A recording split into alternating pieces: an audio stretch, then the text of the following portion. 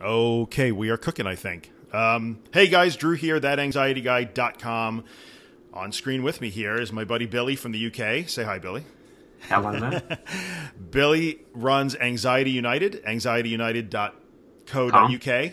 Uh, anxiety, and .com now, and yeah, .com, yeah. that's right, anxietyunited.com in the UK. and uh, Billy and I crossed paths many, many years ago. I don't know. It's been, it's been a while, right? It's got to be 12, 13 years, I think. Um, something along those lines, I'm guessing. Uh, initially on YouTube when we were both struggling with anxiety issues way back in, you know, what the kids call the day. And, uh, you know, we became friends. We're still friends now. And we are going to do a series of uh, video and podcast episodes based on sort of an anxiety 101 course This is it. This right? is it. Right, the kind of the basics. This is the meat and potatoes of how you have to approach recovering from anxiety issues, and we're going to take you kind of step through step by step through some basic principles. And I think one of the best things about the way we're going to do this, and jump in anytime, is that we're going to give you like actual, real, concrete stuff, right? As opposed to just This like generic concepts and you know that sort of thing. So this will be first in the series. Of, I guess a fairly, I don't know, probably seven or eight episodes at least. I'm not sure. That's the plan. That's the plan. I think one key thing as well. This is for people that have got minor anxiety up to the heightened state where you're, you know, constantly suffering, whether it's generalized anxiety or whatever. This these principles apply to the whole spectrum. Yes, that is true. So, you know, whether you're just dealing with generalized anxiety or you're an, a housebound agoraphobic, we mm-hmm. probably have something here that's going to help out. That's it. Um, I Stick think- around. Yes, stick around. Very good. um, one of the things that I would like to say before we start, and, and Bill, you might have something to add to this, is some of I think what we're going to tell people might ruffle a few feathers here and there because we're going to intentionally tell people to be uncomfortable in certain instances. And this is this is the downfall of many a recovery Yes. attempt. I think. where yeah, in fact we're going to talk about really in this episode specifically which is sort of our intro to the whole series is the fact that you have to be willing to be uncomfortable. Like and and the, the cornerstone of this whole plan really is accepting that our inner drive our, our innate drive for safety and comfort is you have to start ignoring that. Like your, your goal is not to be uncomfortable here. Your goal is to learn to be uncomfortable and then at the end you'll wind up comfortable again. I don't know if that makes Exactly. any sense. Yeah yeah. Yeah, hundred percent, and that's for me personally. I think that's one of the interesting dynamics for this series is that you've sort of, or it feels like you've sort of stepped over that, the comfort and the safety. You've you've managed to push through, whereas I'm, you know, kind of still struggling to battle through that. But that's the That's all right. dynamic of this podcast is that you're sort of evidence and living proof that you do this Right. and it works, and I'm sort of living proof that if you don't do it, Well, you'll if you do what you always do, you'll get what you always get, or whatever the saying is. I Yeah, can't remember. that's very true, and I think that will make this kind of a good deal because I think Yeah, we yeah. can discuss the things that you're going through, and then how I managed to get through them already. So, Exactly. Yeah, I think that's that's probably a good deal. And and I should say before we start too that so many people uh, that listen to my podcast or watch my channel will say, you know, ask me almost every day, "Are you cured? Like, are you Mm-hmm, cured of anxiety?" And what I always say is, it's a reasonable question to ask. I will never say that I'm actually cured. I'm still predisposed to those things. Yeah. Uh, when I get really stressed or sleep deprived, which is kind of all the time. But uh, Mm-hmm, you know, when things get really rough for me, I do get predisposed to anxiety, and once in a while, I still have an actual panic attack. But the difference is, it doesn't really impact my life much anymore. So Yeah, yeah. you know, people always look at it when I'm, especially when they're asking for advice, and well, it's easy for you to say you're cured, but I'm never going to say I'm cured. I have to stay. I think you know, it's safe to say that everybody suffers with anxiety at some point. sure, You know, so nobody's ever going to be free from anxiety. There's always going to be yeah, that. But I think for you, maybe the triggers have become more noticeable. So the triggers are, are more. I don't know. I don't know what the word is. Um, I can predict the triggers. You know, I sort of Yeah. know what they are. And Yeah, whereas, you know, back in when I was really struggling when you and I first met, any you know, like a cloud going over the sun could put, Mm-hmm. Yeah, me, put yeah. Mm-hmm. me panic. That doesn't happen anymore. Now, you know, they're much more concrete things. I'm, I'm really stressed. I have a lot of business things going on, family things going on. There's a lot of pressure on me. It might come out. So, but anyway, the point Yeah, of it yeah. is, I would definitely not say I'm cured in any way, shape, Mm-hmm. or form. so, hopefully, you take that for what it's worth. We're all on the journey. Yeah, we are all on a journey. So, um, let's get into it. How do you want to start? Well, we were we were going to look briefly back at the article that you wrote a while back because it's, you know, the the the methods don't change. True. The proof is in the pudding, so we need to just head over and, and go through that and point out the the valuable information that's there. Okay, sounds like a plan. And I will probably in my video description I will link it on my site. Billy, you can obviously post it on Anxiety United, so you can read along depending on whose channel you're watching or listening to. This is it. There'll be links to what to all social media Yep. platforms and Yep. websites and so you know you guys can certainly follow along as we go and i think all right so we'll get into it and when i wrote this i wrote this like billy said many years ago and full disclosure it's really based a lot on the work of claire weekes you know which is you know dr claire weekes wrote many books about the subject many years ago she's gone now but her methods to me are still the gold standard so a lot of this is just a watering down and a, and a consolidation of what she says which incidentally I think you'll find most of the paid for methods are probably based on the same principles. It's just that this is free. They carry on. Yes, they absolutely are. That's absolutely correct. Yes, she started the whole thing, and, and uh, everybody else just sort of building on her work. It so, seems to be that way. Yes, all the most, at least the most effective things. So the way I started the article was pointing out that the single most common mistake, and I, I used to make it too. It's what kept me held back for a long time. The single most common mistake that that I see people make when they're trying to overcome anxiety and panic issues like agoraphobia and things of that nature is that they think that they are trying to get to safety and comfort, which makes sense because we're, you're in a panic or you're having tremendous amounts of anticipatory anxiety, afraid to go out the door or whatever. You're mm-hmm. obviously not, you know, you're afraid and very uncomfortable. So the misguided direction I see people going is to say, well, no, I have to find, you know, I have to get rid of that fear somehow and I have to get to comfort as quickly as I can. And I think that is the basic misassumption that keeps so many people held back. I think it's also the the thoughts that you have to prepare yourself for these things before you even go into them. So with the bottles of water and the mints and Yes. and parking nearer to stores and all those things, all those predetermined things that you think of before you go out and tackle whatever it is. That's they're true. also they're, they're safety behaviors, comfort blankets, whatever they are.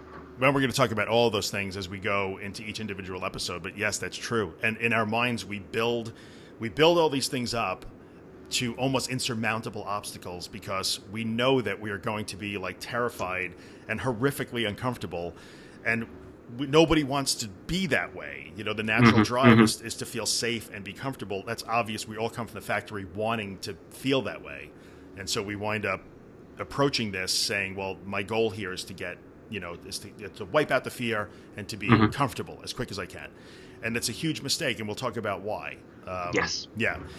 So I make the assertion, and really Dr. Weekes made it first, that to really get past these things, to really get past them completely and, and not let them control your life or impact your life that much, you have to really learn to completely and utterly, and we use this word so often. I know you and I have talked about it so many times.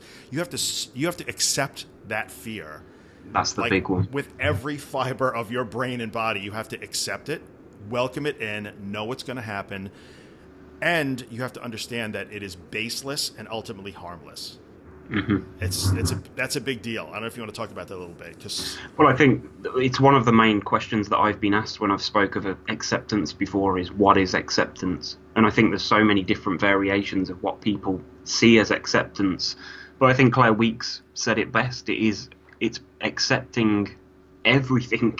It's accepting the symptoms, the sensations, the the worrying, flashing fears that you have. yes It, that is the basic principle is accepting the whole thing, not fighting against it, not going into it accepting that this is going to be rough. Just accept that you're going to do it.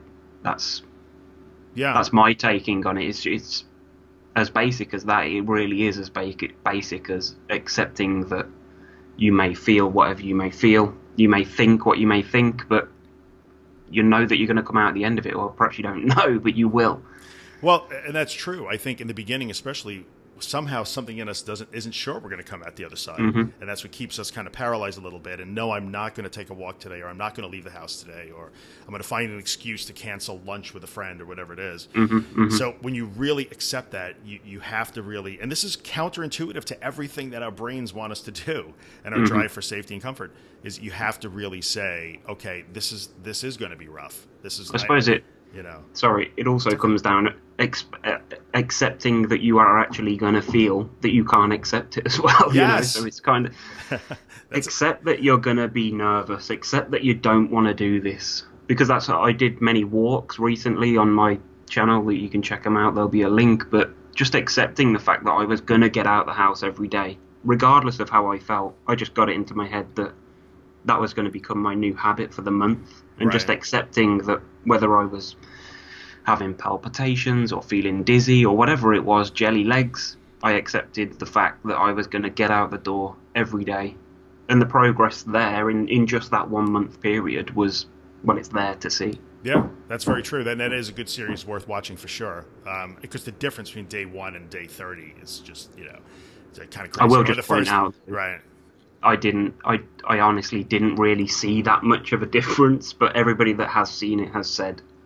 But I think that's another negative aspect of having this. You just don't see progress for what it is. You don't see those little, little steps. That's true, and I think you're right. We're our own worst critics sometimes, and we expect Yeah, that. yeah, definitely. Well, I, I wasn't able to say walk to the mailbox, the post box. Sorry, Mm-hmm, And, uh, I wasn't able to get to the mailbox yesterday, and now I'm at the mailbox today, so I must be fixed. And Yeah, yeah, you know, yeah. Mm-hmm. we judge ourselves very harshly when the next day is a struggle to get to the mailbox again. So accepting is the the main part of this. You have to accept, and I always say, for me, the sentence I use all the time that I tell people is, you have to be afraid before you cannot be afraid.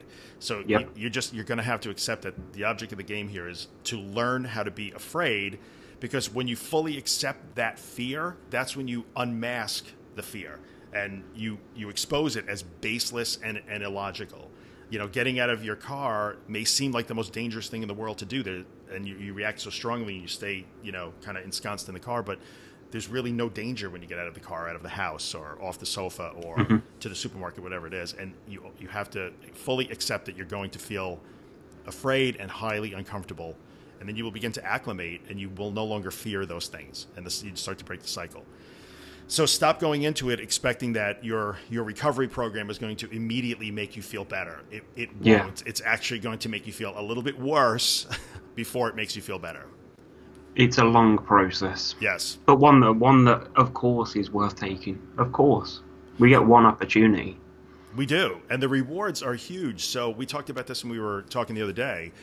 Mm-hmm. The and even back then, I would say so. It's just like going to the gym or doing anything that might be unpleasant. You know, it's not the most fun thing that we do. Um, Back back in the days when I had to get up in the morning and force myself, and you've seen many of my old videos, right? We were sharing them back then. Yeah. Force myself to get dressed in the dead of winter, freezing, snowing, whatever. Like the first thing I would do, get in the car and drive around my neighborhood being terrified. Like I hated doing that. I freaking uh, keep it G-rated here. I, I freaking hated it, but I I hated doing it, but I love having done it. Right. Well, that's So- it. You are you are where you are now because of the steps that you took back then. Yeah, and I think you know accepting is like you said. Part of it is accepting that you're going to feel crappy, but you're but that you'll feel like over the moon. You know, to use the, the British term. You know, when when you're done, you feel so good about yourself. Like, oh my god, I freaking did that.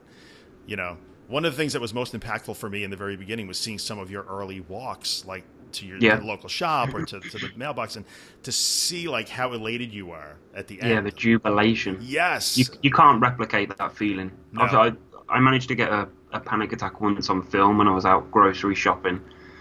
And like I don't know whether other people can tell, but the way that I felt after I'd rode it out, I stayed in there on the second floor, deep into the supermarket, and that feeling afterwards, you you honestly do feel like you've never had a problem with anxiety and panic. It's so clear. right so if, if we can get people to buy into this and like okay it's going to be okay it's okay to be afraid except that you're going Mm-hmm. to feel terrible when you do this stuff but when it's over you feel like you've beaten like you've slain a dragon and i That's it. Would That's you- the goal. for me i think when i would do these things literally like you said you forgot that you ever had a problem being in that mm, mm. supermarket and even if it's only for a few minutes and then that feeling will last longer and longer as you go but for a Yeah. few minutes i would literally think like why was i so afraid to do this this was so easy That's it.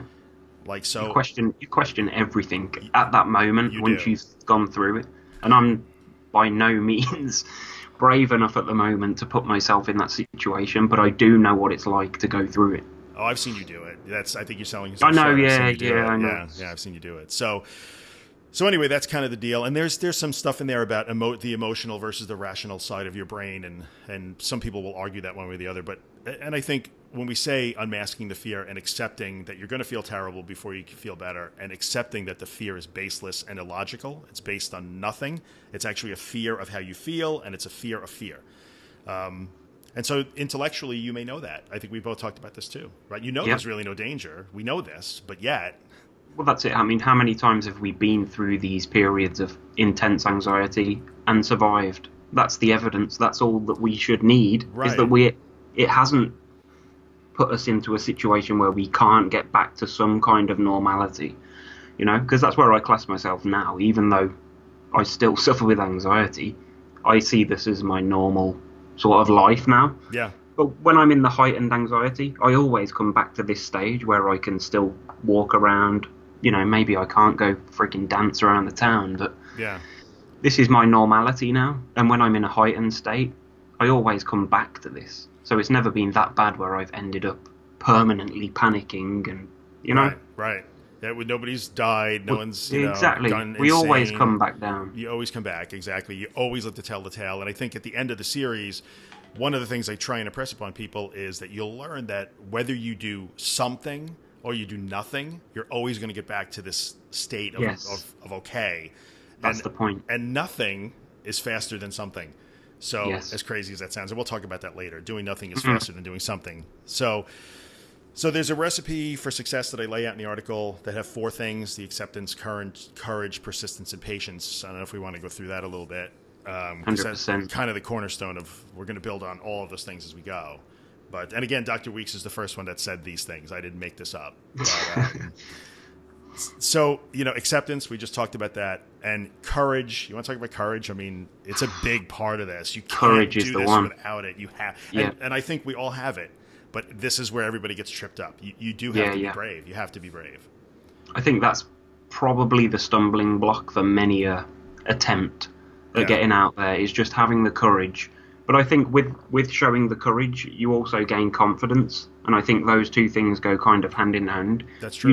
Display that bit of courage, and even if it doesn't go fantastic, whatever it is that you're doing to try and overcome, Right. the fact that you've you've been able to show the courage to do it once means that you can do it twice, three Yeah. times. You know, times. Yeah. Exactly, as many times as it needs, and if the progress is even minuscule, it's progress that's worth making, isn't it? That's the point. I think so. I, I mean, I think that you know, if you're standing at the front door and you just can't bring yourself to go out, you know, you haven't done that, or you can't do it without your husband or your wife or your mom or Mm-hmm. whoever, you know, just opening that door, even just opening the door, is. I think we spoke about it before. Sorry, That's You- okay. You, you said just. I remember when you first started, just putting your shoes on, put tying your laces up. Yes. That that is a step in the right direction. And Yes. like you say, just going to the door. You don't even have to open it. Just being prepared mentally yeah. to attempt to just take a step, and then maybe tomorrow open the door. That, that's right. I mean, and, and it's it's tiny little building blocks, but every time you do one of those things, for me, you're right, lacing up my shoes or Mm, just going to the front door as opposed to knowing like, oh, there's no way I'm going to the front door. Mm. You know, you're sh- you are displaying courage when you do that. So I, I so many people Exactly. say, well, I can't do this because I'm not nearly as brave as you. Or we have Mm-hmm. a mutual friend that would say all the time back in those days, like, well, the boys are out. That would be you and me and Chris, you know, in, in Ohio. Yeah, yeah. You know, well, the boys are out doing these things, but they're way braver than me. And what I always Mm. try to mm. tell people is, no, you're as brave as me or anybody else. Exactly. And it doesn't courage. I always like to definitely point out, courage doesn't mean that you're not afraid. It means that you're afraid, but you do it anyway. That's mm-hmm, that's mm-hmm. courage. Courage isn't not being afraid. Feel the fear and do, and do it, it anyway. anyway, right? Somebody wrote a book about that, I believe. Yeah, so, yeah. but unfortunately, you can't do this without finding that inner courage. And sometimes, like Billy was saying, you have to find it in tiny little, tiniest mm, little steps, mm.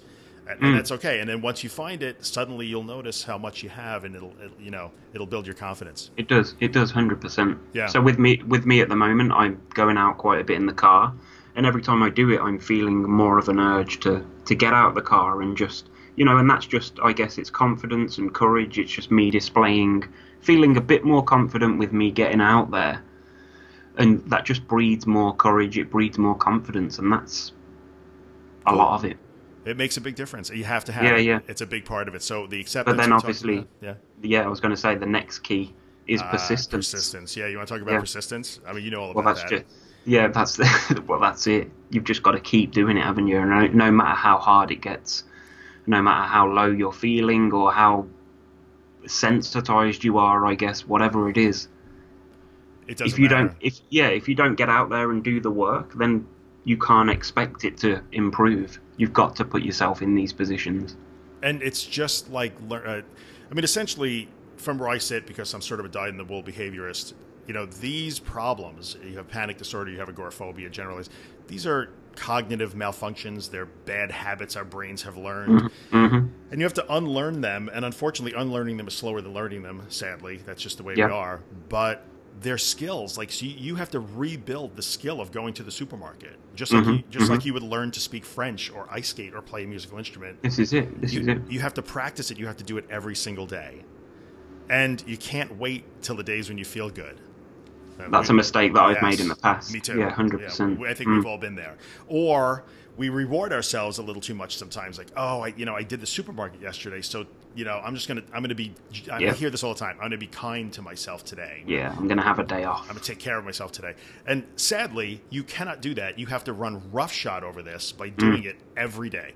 So I can tell you that for me, like when I was doing a lot of that driving, when it was hard for me to get out of the house, I would get up and do it first thing in the morning, and I would do it again like two, three, four times a day, hmm which was monotonous and boring and tedious. But I got to tell you, going out and doing it at 6 p.m. was boring, and I didn't want to do it. But it was so even on one day, it was so much. The 6 p.m. drive was so much easier than the 6 a.m. drive. Yeah. because uh, I had done it three times. Of course, Yeah, the, yeah. the next morning, the 6 a.m. drive was just as difficult as the one before. Yeah. So the progress was a little bit slow, but every day as often as you possibly can, no matter how you feel. In fact, you have to do it when you feel your worst. That's when the most I think I was going to to say that's what, exactly when I learned the most about myself. Yep. Is when I was feeling bad when I went out. Yeah. But nine times out of ten, I would feel so much better when I got back. Hundred percent better. Absolutely. Or maybe not hundred percent, but yeah. No, but light years better because you, you Yeah, know, yeah. you start thinking like, "There's no way I'm going to do this. I don't want to do it. I feel terrible today. I'm weak. I'm tired. I'm whatever. Mm-hmm, I'm racked with anxiety today."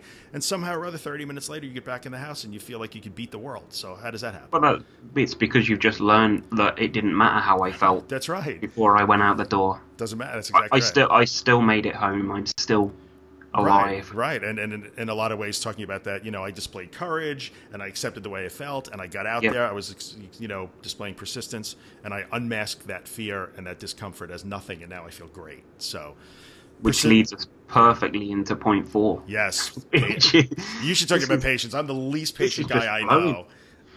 well, it's I think I don't know whether I've been patient in the past, but I feel that I am a lot more now. Is just seeing the the steps as being so small, but it doesn't matter to me. Yeah. It doesn't matter how big or small the steps are, Right. as long as they're in the right direction. I'm patient enough to just see. I always believe that I will get there. I will get there one day, That's cool. and I'm just patient enough to do what I have to do now. Put myself in these positions, and we will get there.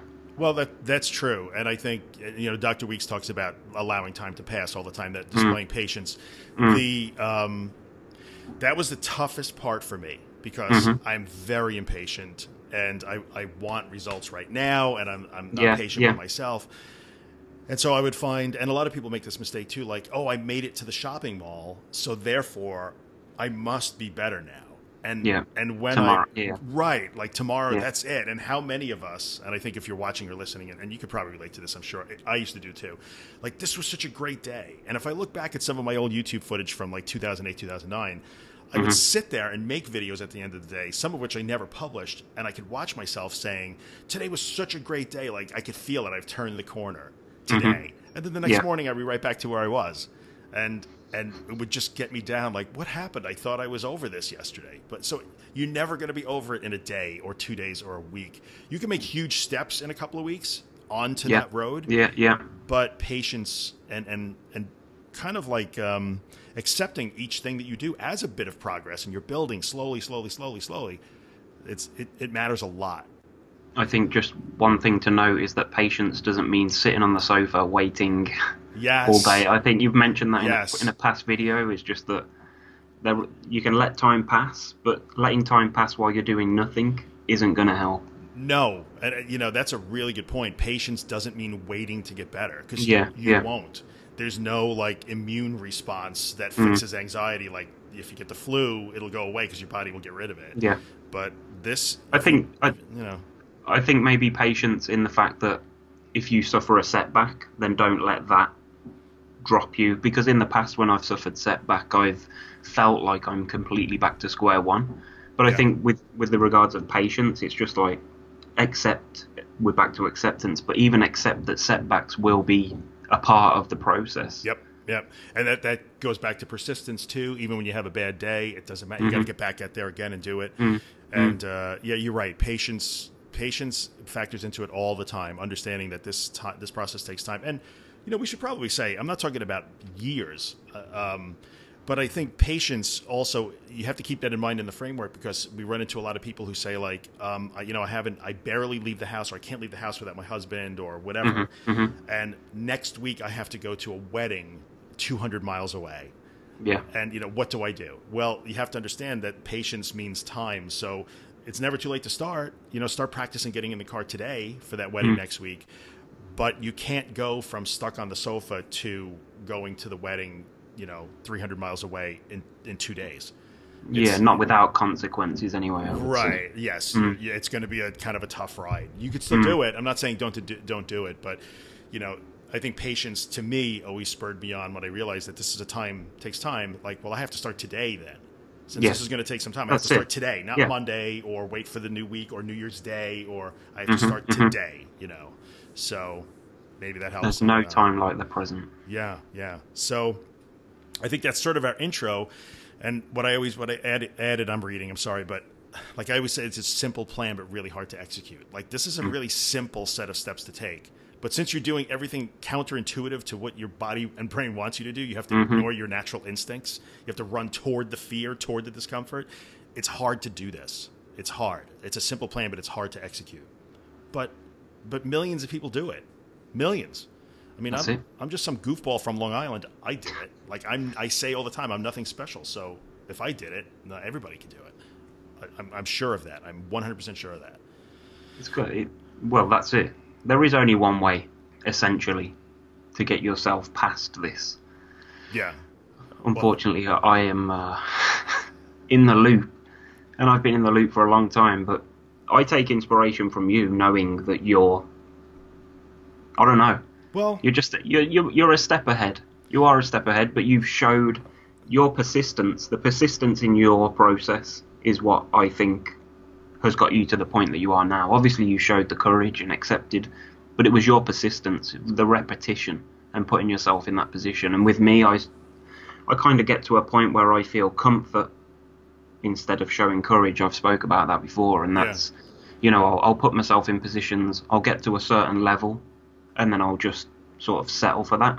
yeah. But this is about going the whole hog and and getting right on through. I think at some point, what I found too, you know, I guess we could chat a few minutes about this, is for me, persistence. Like there were times when I didn't want to do it. Of course, we all have hmm. that, right? I'm nothing. I'm no different than anybody else.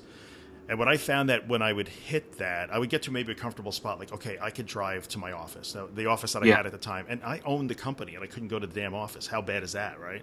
So I remember those. remember days. those days? How hard that Oh, was yeah. so difficult. I, I couldn't go to the business that I owned. That was so hard. But um, it was only like literally like three miles from the house. With no traffic, I would get there in like six, seven minutes. And there were times when okay, I would work to be able to get there. Okay, now I can get there. Like that. That's enough. Like that's enough. And then something else would come up. Like my daughters were taking, you know, horseback riding lessons, and that was like ten miles from the house, and I couldn't take them to that.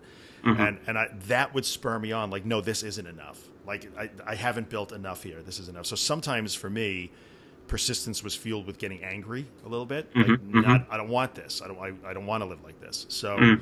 however way you find it, you know, I was going to say, yeah, whatever the driving force is, go with it. be angry, be upset, be whatever. But I Mm-hmm. think we should probably circle back for just a second too with acceptance. Acceptance never, to me, and maybe maybe you disagree or have a different view. Mm. I've, I've heard people take that word acceptance and say, "Well, I just accept that I'm like this." You know, oh, Yeah, you mean no. You, you mean just accept that I'm like this? No, that's not no. what we mean. No. Yeah, you have to accept it the, the accept the difficulty of the process. Don't just accept being this way if you don't want to be Yeah, this yeah. way. Yeah. Mm. So uh, I, I suppose, yeah, accept the way that you feel and just go for it. You've got you've yeah. got to put your, if you want any kind of normal life. I don't know what normal is these days, but if you want to be able to go out and do the things that you want to do, that you dream about, right. then the four steps, accepting the way that you feel while you're doing it, not just accepting it and sitting there and saying this is it. You know? Yes, that's true. So, you know, acceptance doesn't mean just accept your lot in life. This is the way Yeah, it is. yeah. You know, I'm always Mm. going to be agoraphobic or whatever it is. So I think that's kind of the intro of the article. And the next episode, we're going to talk about that, that foundational concept that says that danger isn't real. And we could probably Yes. spend 45 minutes on just that. But that's what we're going to do That's next. it. Yeah. That's it.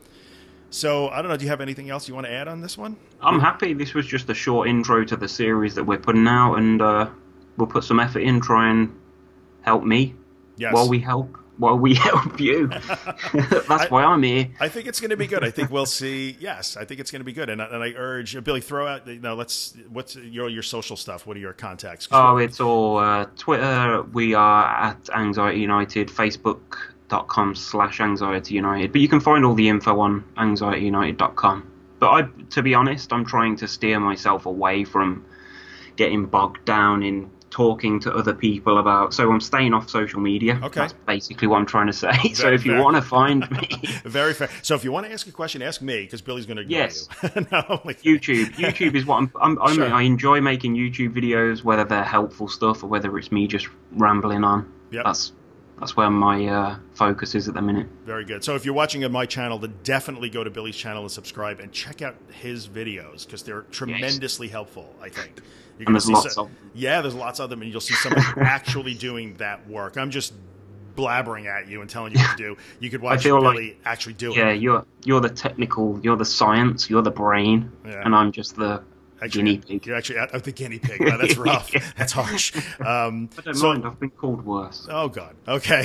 so um, uh, if you need to get to me, uh, my website is thatanxietyguy.com. On Twitter, at thatanxietyguy. Facebook is also facebook.com slash thatanxietyguy. I take throw any questions you want or in the comments section here on YouTube, or if you're listening as a podcast episode on the website. So you want to ask questions, I was bring gonna them. say, don't- yeah. Don't forget that Anxiety Guy podcast on uh, iTunes. Yes, that's true. If you're on iTunes, you can find my podcast. I haven't been publishing a lot lately, but by all means, subscribe there. But uh, as we go, we'll take questions. So if you want to send questions my way or Billy's way, we'll incorporate them into the future episodes and you know follow along. Hopefully, get something out of it. That's it. Questions in the comments. Yes, on YouTube. There'll be links links in the description as well to Yeah, everything you we're need. just gonna bury you in links and information. So yeah. bring your shovel to the next episode. all right, folks. I guess we're gonna end it up here. Billy, thank you. It was cool. It's good. All right, man. See you on the next one. You will indeed. Yep. See you there. Bye.